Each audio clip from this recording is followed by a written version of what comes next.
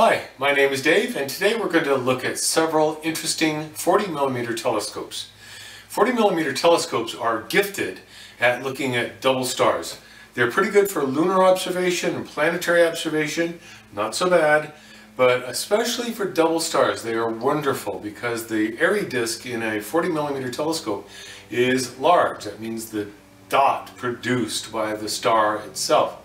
So if you have a bright enough pair of double stars, you can more easily see the color differences. And the colors are beautiful. People that like double stars enjoy observing the colors. This is a Unitron Model 127, and this is certainly one of the earliest ones uh, you will ever see. I'm pretty sure this is probably the very first model introduced in the early 50s by Unitron.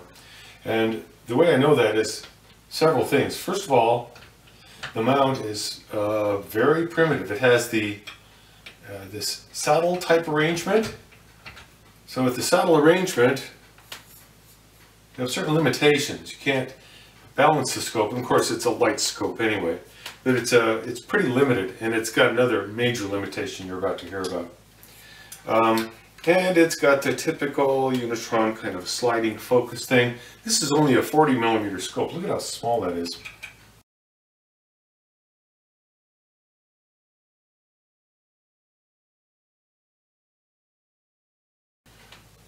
Okay, one of the main limitations about this scope is this, the azimuth control. In the altitude you have lots of freedom. You lock it down and you have slow motion. It's beautiful, very nice. But in azimuth, you don't have any way to, to make a coarse adjustment. So you're kind of stuck with what you've got.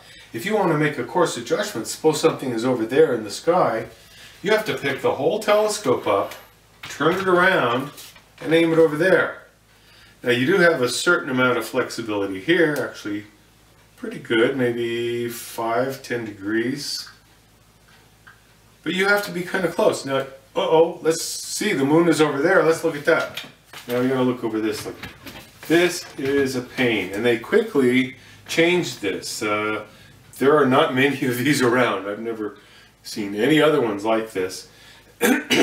And they quickly changed this because this is, uh, boy, this is a nightmare for trying to use this at night, looking at several different things on the sky. It's just, it's a real, real chore, real pain. Well, here's a little finder on the uh, Unitron, the very primitive Unitron.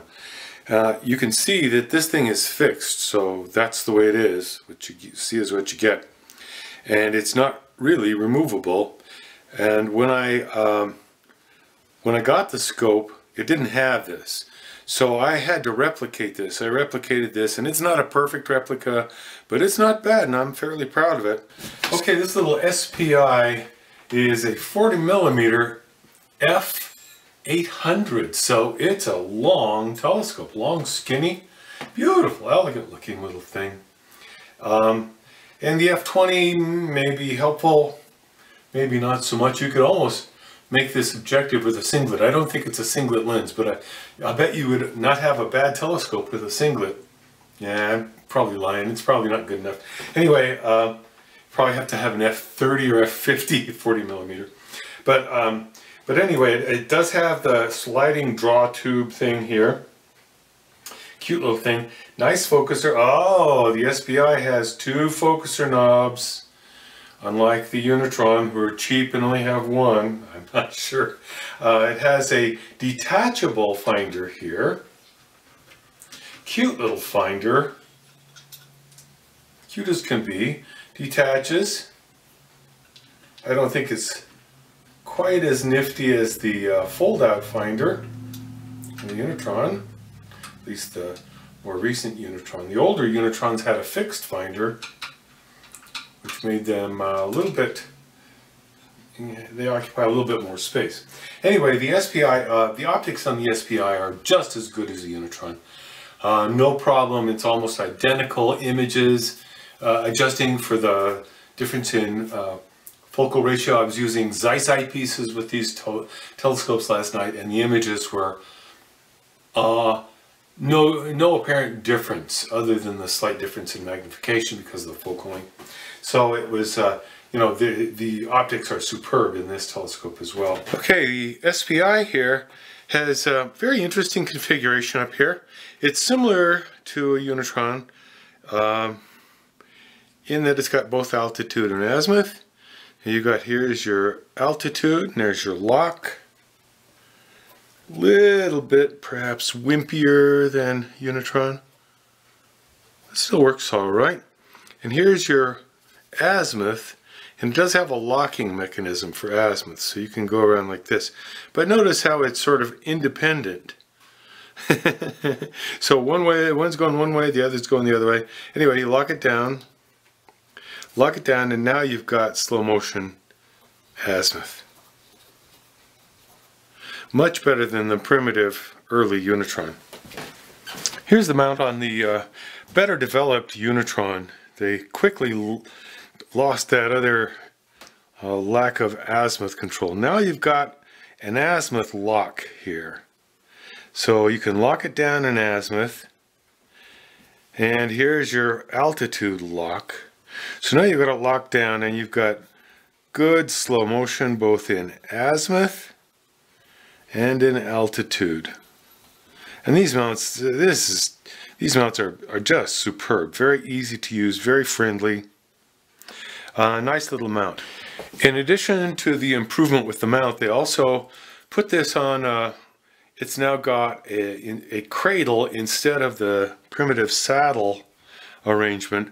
With the cradle arrangement, you can uh, unlock it and put it in and out more easily. So that's easier. And probably more important than that is you can loosen this a little bit and slide it back and forth so you can balance the scope. So if you have a heavy eyepiece in there, uh, you can easily, more, more easily balance it. Here's another refinement they made.